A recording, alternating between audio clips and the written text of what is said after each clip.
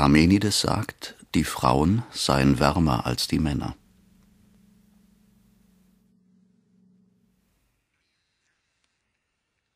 Heraklit gebot, wenn es donnere, die Erde zu berühren, ein Gedenk der Entstehung der seienden Dinge.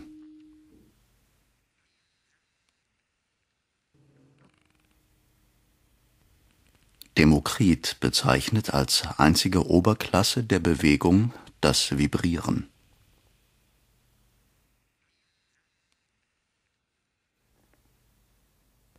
Es ist unmöglich, zweimal in denselben Fluss hinabzusteigen, so Heraklit. Empedokles sagt, in warmer Verfassung ist der Bauch Erzeuger des Männlichen. Deshalb sind die Männer dunkel und haben kräftigere Glieder und haben mehr Haare.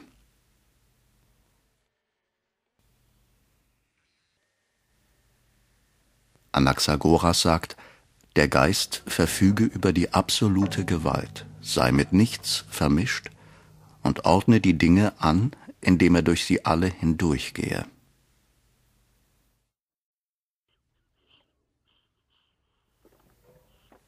Demokrit sagt, das Weib ist viel rascher zu bösen Gedanken bereit als der Mann.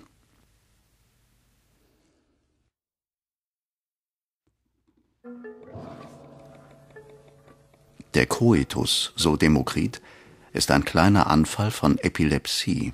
Es stürzt nämlich ein Mensch aus einem Menschen heraus und wird losgerissen, indem er sich durch eine Art Schock abtrennt.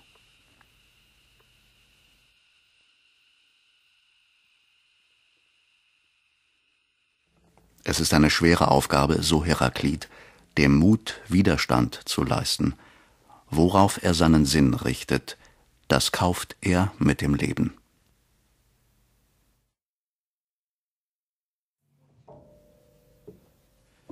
Pythagoras sagt, der Klang von angeschlagenem Erz sei die Stimme einer im Erz eingesperrten göttlichen Macht.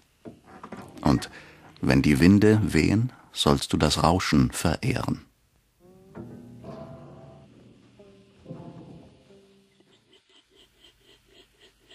Demokrit verwirft manchmal das, was den Sinnen erscheint, und sagt, nichts davon erscheine wahrheitsgemäß, sondern lediglich der Meinung nach.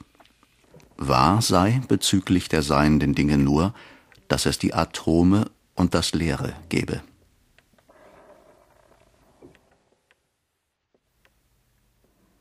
Heraklit sagt, verständig sein ist die wichtigste Tugend, und die Weisheit besteht darin, das Wahre zu sagen und zu tun, in Übereinstimmung mit der Natur, im Hinhorchen.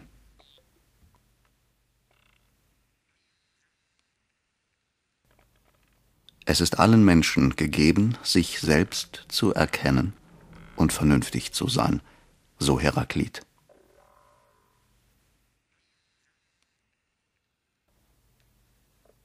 Empedokles, die Göttin mit fremdartigem Fleischhemd, die Seelen umkleidend.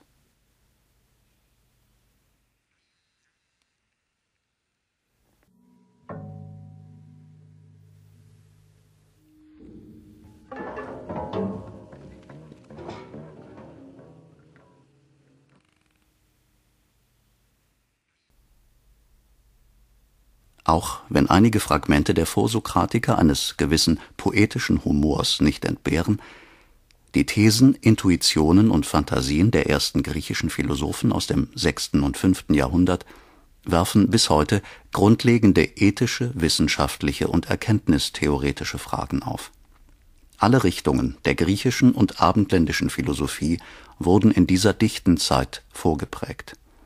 In einer schnellen Folge selbstständiger Geister begann das rationale Phantasieren, vor allem über ein Urprinzip oder den Urstoff alles Seienden und des Kosmos. In individuellen Gnosen kam es zur Abwendung von den religiösen Bildern oder auch Bildergeschichten.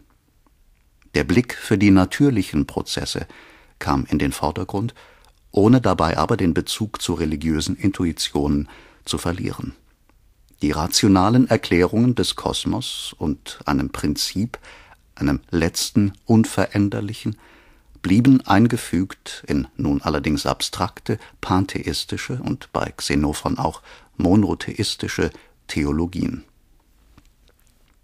Die Fragen nach den Archai und Aitiai, den Prinzipien und Ursachen, sind schon in der homerischen Religion, der Orphik und den Mysterienreligionen in vorphilosophisch gestalthaften Bildern berührt worden. Das wirklich Neue bei den ersten philosophischen Denkern ist, dass sie als individuelle, unabhängige und freie Geister ihre intuitiven, fantasievollen Behauptungen aufstellen, an dem Erfahrbaren reflektieren oder durch rein vernunftmäßige Schlüsse zu beweisen suchen, und dass dies dann zunehmend in einem immer weiter ausgreifenden, direkten und genealogischen Dialog stattfindet. Warum dieser plötzliche und heftige individuelle Aufbruch? Mit dem Begriff der Achsenzeit der Weltgeschichte weist Karl Jaspers auf die gleichzeitigen philosophisch-religiösen Entwicklungen in verschiedenen Kulturkreisen hin.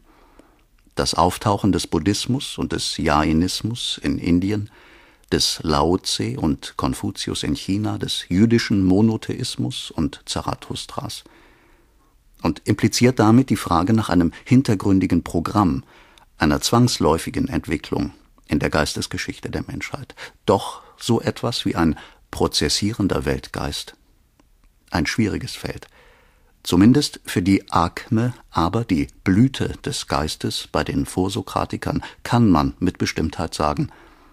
Der lebendige Austausch zwischen den Kulturen, das Zusammentreffen und Zusammenleben verschiedener Ethnien und Religionen hat eine entscheidende, eine unschätzbar positive Rolle gespielt.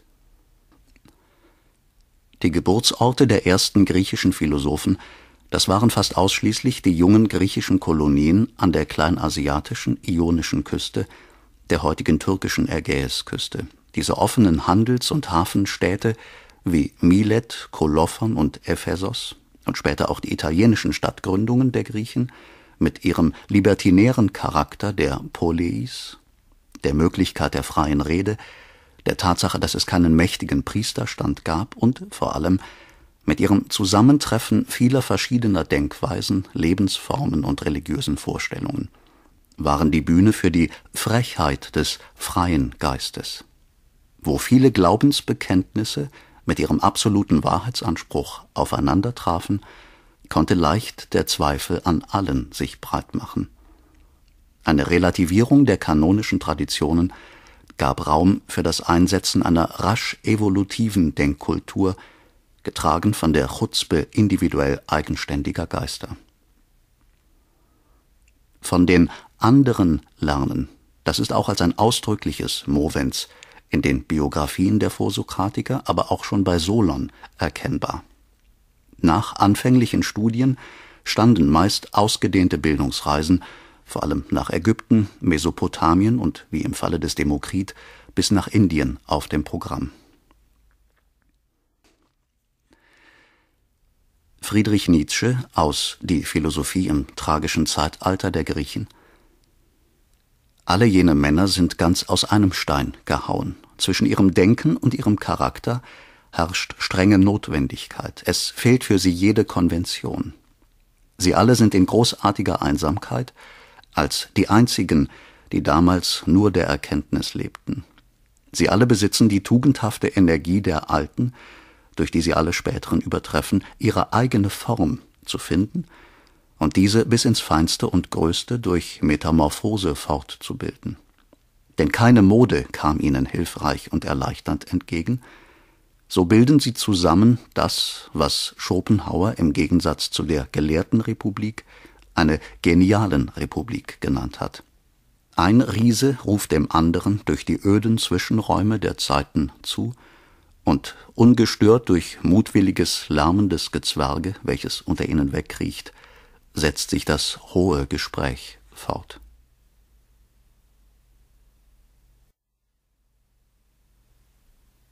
Hans-Joachim Störich auf schmalem Küstensaum am Westrande Kleinasiens entlang der Ägäis hatten die Ionier, der genialste griechische Stamm, zwölf blühende Städte gegründet. Hier endeten die großen Karawanenstraßen, die aus dem Innern des asiatischen Kontinents kamen, hier wurden die von dort ankommenden Waren auf Schiffe verladen und nach Griechenland verfrachtet. Mit dem Warenstrom aus dem Osten kam die Kenntnis vieler kultureller Errungenschaften der asiatischen Völker auf diesem Wege zu den Griechen. Astronomie und Kalender, Münzen und Gewichte, vielleicht auch die Schrift, kamen aus dem Osten zunächst zu den kleinasiatischen Ioniern und wurden von ihnen den übrigen Griechen vermittelt. Die südlichste der zwölf ionischen Städte war Milet, im 6. Jahrhundert ein bedeutender Handelshafen und vielleicht die reichste Stadt der damaligen griechischen Welt. Diese Stadt, in der sich Rassen, Sprachen und Religionen kreuzten, ist die Geburtsstätte der griechischen und damit auch der abendländischen Wissenschaft und Philosophie.